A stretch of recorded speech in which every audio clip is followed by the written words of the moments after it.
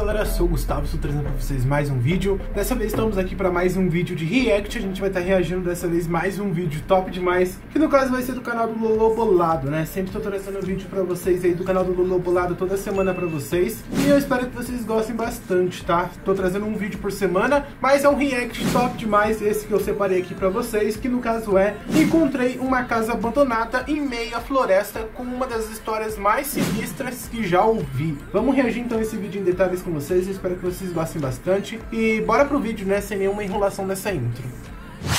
O vídeo já tá aberto, bora dar o play. Eu tô com a mesma roupa porque as intros estão sendo feitas no mesmo momento. Nossa, agora eu tô, mano, eu tô parecendo um repórter. Parece mesmo. eu fazendo os vídeos, gravando tudo de uma vez.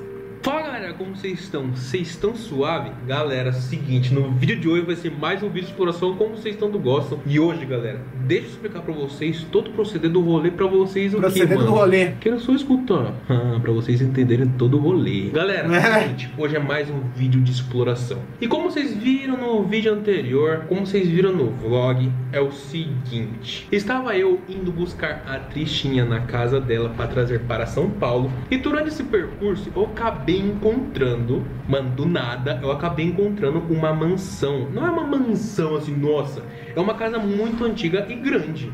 Tá? Mano, não sei quanto tempo ela, essa casa tem.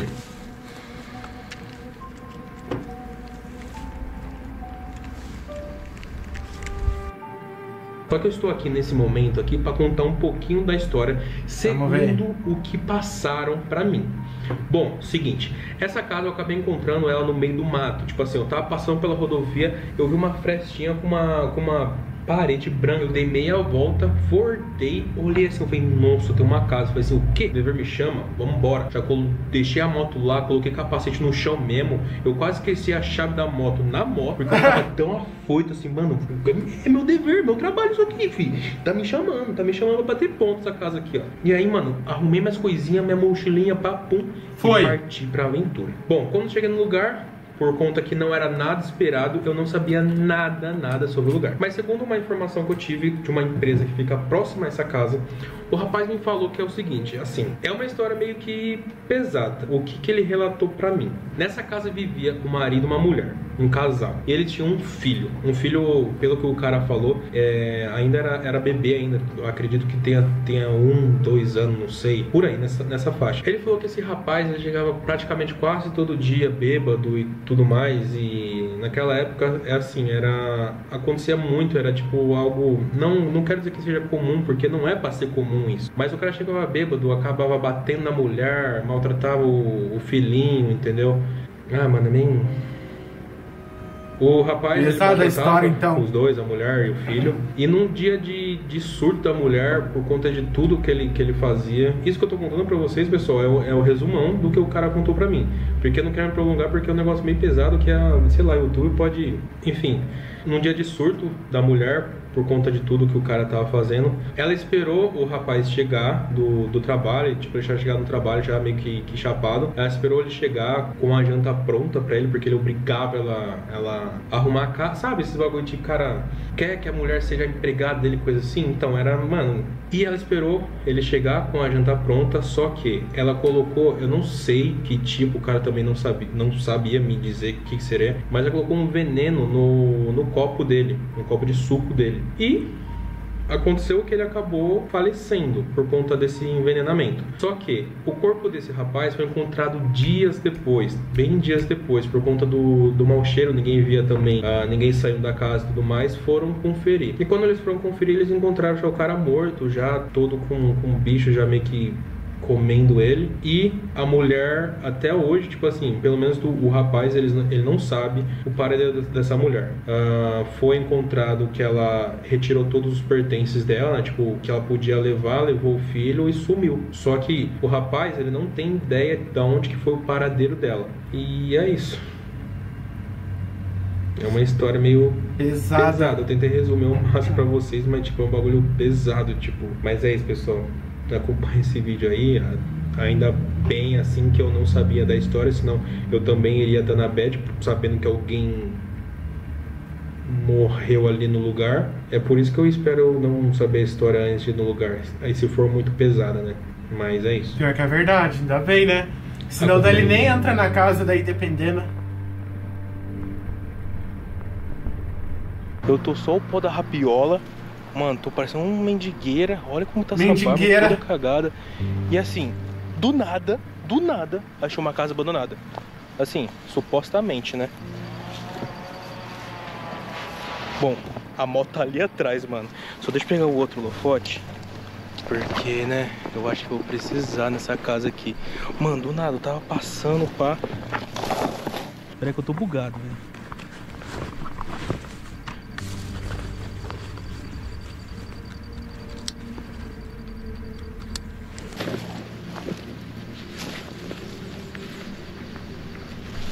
Eu tava, tava. Passando pela estrada, aí eu vi essa casa aqui, eu falei assim, o quê? O quê? O dever me chama. Vamos embora. E é isso, pessoal. Bom, enfim, achei uma casa abandonada do nada. Tá suja a lente aqui. Eu tava indo buscar a tricha, mano, pra vocês terem ideia. Como, Mano, não sei que sequência tá saindo, mas eu tô indo buscar a tricha. Aí eu vi essa casa e falei assim, que? A tricha vai esperar, o dever me chama, vambora, taca ali pau. Sobre a história dessa casa, pessoal, mano, eu tô aflito, eu tô afoito, eu tô, mano, pique gorila doido. Não sei nada sobre essa casa, nada. Vamos descobrir ela agora, velho. Eu gritei agora há pouco se um ou de casa, mas ninguém falou nada. Então acho que não tem ninguém não. Vou dar só uma olhada por fora primeiro. Mano, é uma casa bem, bem antiga, ó. Bem antiga mesmo, ó. São duas casas, parece. Parece ser, né?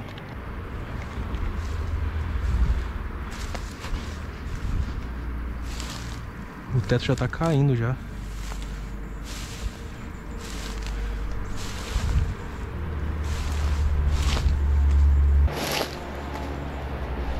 Mano, será que eu já entro aqui nessa entradinha? Acho que não, né? Entrar pela principal, né? Eu vou entrar pela. Eu vou entrar pela principal, mano. Tomar cuidado com cobra aqui, velho. E a abelha também. Ai, Jesus Cristo, vamos lá. Vamos ver. Vamos ver o que que dá.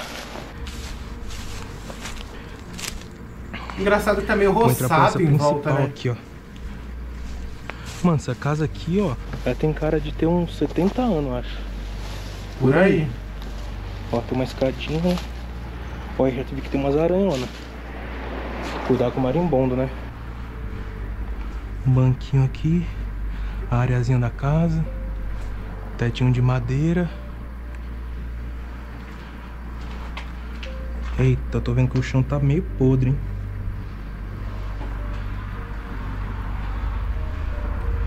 Chão tá meio podre. Eita lasqueira. Tem lareira. Não parece que tá bom o O chão. chão é de madeira, mas tem que tomar cuidado. Senão, lareira. pá. Lareira bem antiga, né? Lareira. Mano, aqui era um bagulho. Tinha um ninho de coisa, eu acho que é de. Vespa, marimbondo, não sei aqui, ó. É. Mas botaram fogo. Não tem Na casa inteira nada. botou fogo, né? Algum tá madeira. Isso aqui tem um escura. risco do caramba de cair, ó. Tá sem estrutura nenhuma, ó. Eu tô correndo um grande risco, tá aqui. Um grande risco. Bom, aqui é um quarto. Ai, galera, eu tô com medo, velho. O chão aqui já era. O chão tá bem zoado. Olha a janelinha que bonitinho. Tem que tomar cuidado com esse chão. Eu acho que aqui dá acesso, aquela porta, aquele coisa ali, eu acho que dá acesso. Vamos ver. O chão tá bem, bem zoado, pessoal. Eu posso cair a qualquer momento aqui. Olha lá, ó. Outra parte do chão já caiu já. Eita, não... Ai.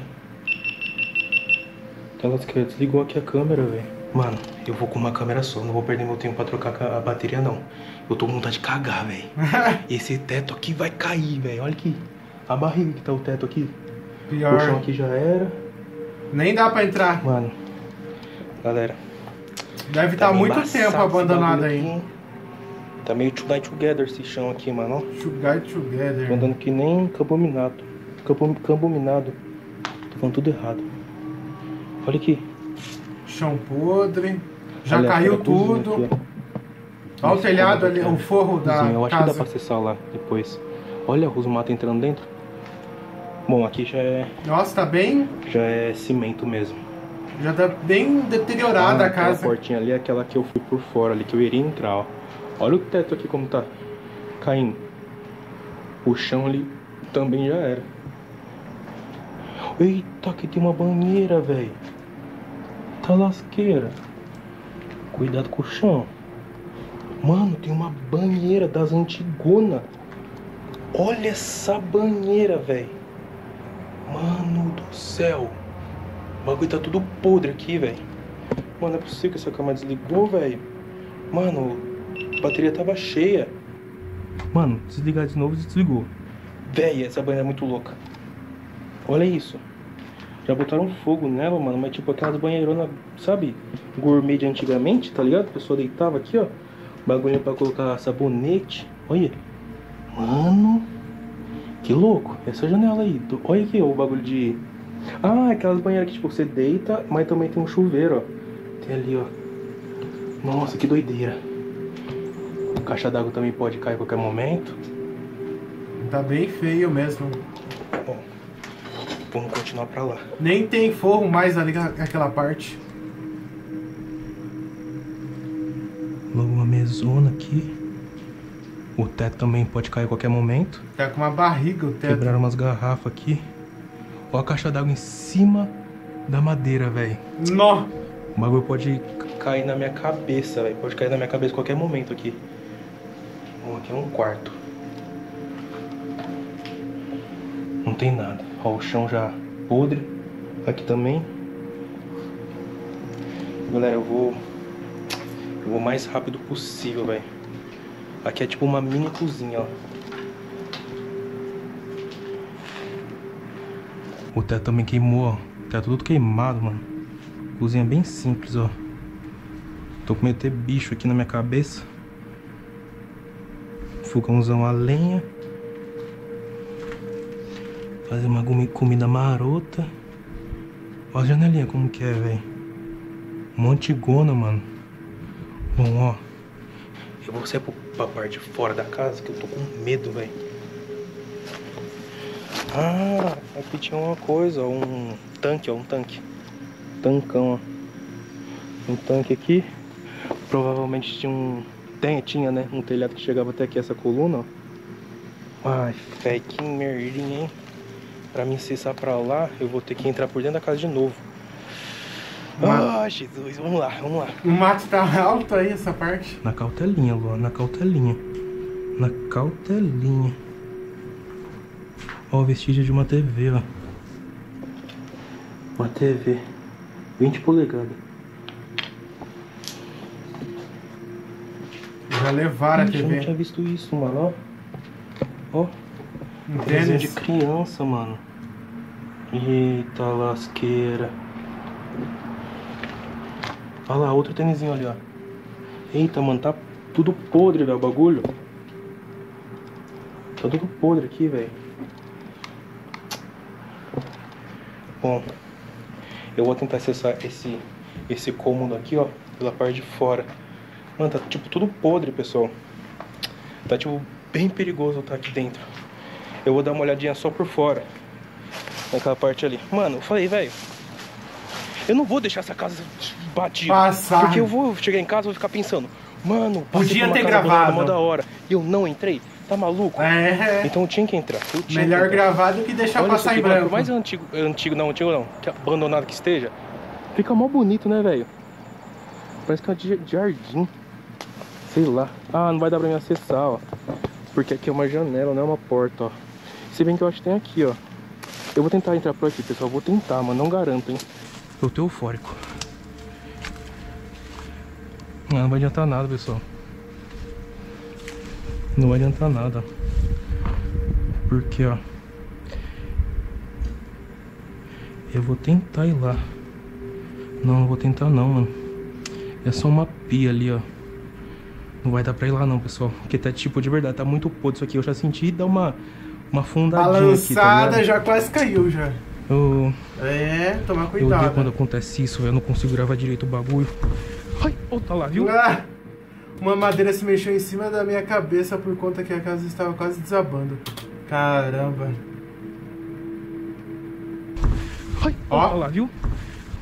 Bagulho. Ai, ó, tá lá, viu? Você escutou, né? Você escutou, né? A madeira, tipo, rangindo, mano. Do teto aqui, ó. Aqui, ó. Ah, mano. Tá perigoso. Embora, mano, olha, se a, casa, se a casa cair em cima de mim, velho, pra quem que eu vou chamar? Não tem nem sinal de internet aqui, velho. Nossa, olha meu coração como tá, palpitando grande, hein? Bom, galera, é o seguinte, ó. Eu vou finalizar esse vídeo por aqui. Aqui, aqui do lado, tem uma empresa. Tem uma empresa aqui do lado aqui. Antes de ir lá buscar a Trisha, eu vou chegar naquela empresa ali, porque fica bem próxima. Acho que tava eu um pouquinho, ó. Tem até umas partes de branco lá, que é a parede da, da empresa. Eu vou perguntar pra eles se eles conhecem alguma história, alguma coisa tipo, porque daí, no início desse vídeo, eu consigo contar um pouquinho sobre essa casa. E é isso, ó, onde que ela tá perdida? Tá perdida no mato, mano, ó. Perdida no mato. Sem nada, tipo, nada. Só mato. Então é isso, pessoal. Espero que vocês tenham gostado. Por mais rápido que foi esse vídeo, eu não podia deixar, deixar passar essa casa. E é isso. Vou finalizar o vídeo por aqui, eu espero que vocês tenham gostado. Se gostou, deixa o like, se inscreve no canal, compartilha esse vídeo com a sua avó, seu primo, seu passarinho, todo mundo, dá essa fortalecida pra nós. Eu falei muito rápido, tô parecendo o Eminem. e é isso, pessoal. Tamo juntão, é nóis. Foi top. Fui. Mas então é isso, né, galera? Espero que vocês tenham gostado desse react. Foi top demais. É... Vocês viram, então, no caso que a casa está totalmente abandonada. Ali no início do vídeo ele contou a história mais ou menos como foi. É uma história bem pesada, como vocês podem pode ter visto ali no início, né? É... Até então, quando ele foi gravar na casa, ele não sabia em si a história ainda. Ele ficou sabendo depois, né? E no caso eu espero que vocês tenham gostado em si pelo fato da casa estar tá abandonada daquele jeito, mas é uma história bem triste do que acabou acontecendo naquele local, nessa casa que ele acabou gravando, né? Espero que vocês tenham gostado do react meu aqui com vocês. É, muito obrigado também se você assistiu até aqui. Até a próxima e tchau!